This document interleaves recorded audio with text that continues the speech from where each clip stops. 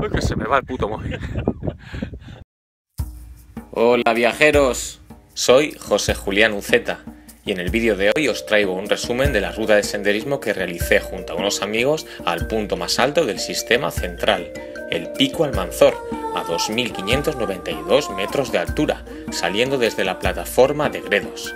Si queréis saber más detalles, el tracking de la ruta o tips importantes sobre material y suministros, visitad mi blog de viajes, elviajedeuceta.blogspot.com. Y si te gusta lo que ves, ya sabes, suscríbete y dale a like.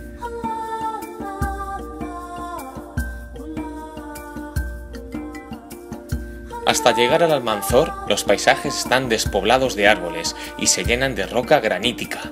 Podrás ver animales en libertad a lo largo del recorrido, entre los que destacan toros o cabras montesas. Profundo respeto por estos entornos salvajes. Me hacen sentirme muy pequeño. Admiro la simplicidad, la belleza no artificial, esa materia que también forma parte de nosotros. La naturaleza tiene la mágica capacidad de reconectarte con tus raíces y conseguir que conozcas mejor el mundo que te rodea y también a ti mismo. Alejarte del tejido urbano hace que te acerques un poco más a la vida y avives la llama de tu amor por ella. Equilibrio, armonía, paz y serenidad son conceptos muy necesarios que a veces sentimos tan distantes en nuestras rutinas. Es deber de todos proteger estos entornos, cada vez más masificados.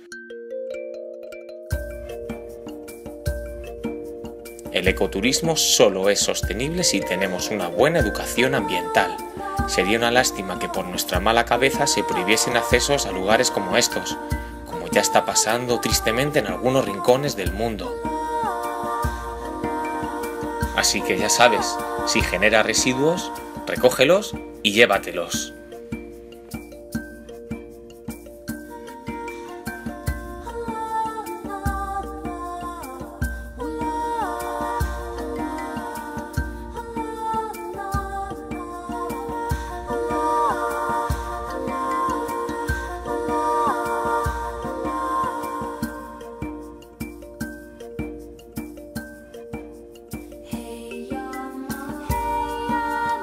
La travesía pedregosa te va dejando paisajes asombrosos y sensaciones muy especiales.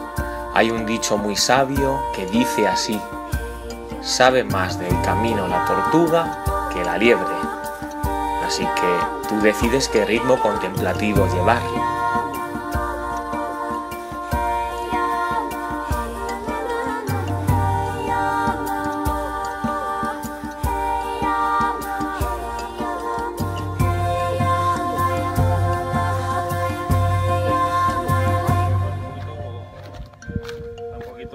Un poquito eso.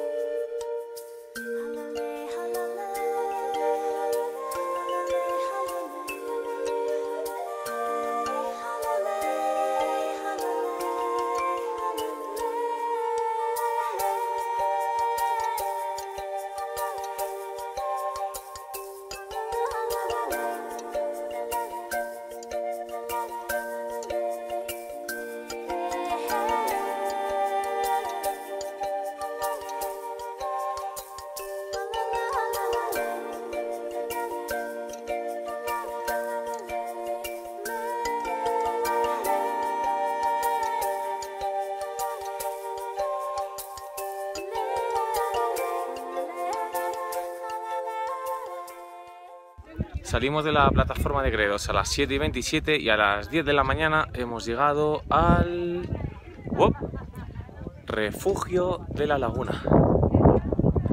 Ahí lo tenéis.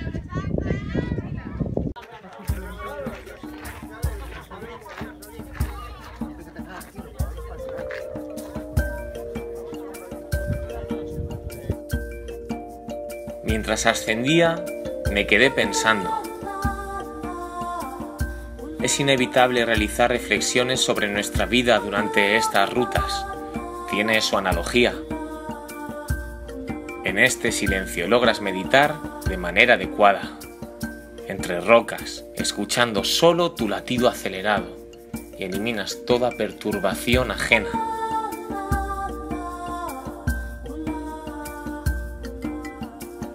La vida no es un sendero meramente llano, nunca lo fue.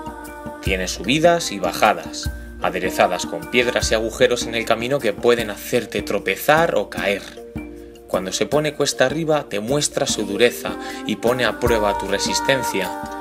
En ese momento pueden sobrevenirte momentos de duda que incluso amenazan con hacerte abandonar tus objetivos, pero con la actitud adecuada consigues vencer y finalmente logras tus metas. Esta es la lección que me llevé este día, la lección que tiene que hacerme luchar, esforzarme siempre, estar en continuo movimiento.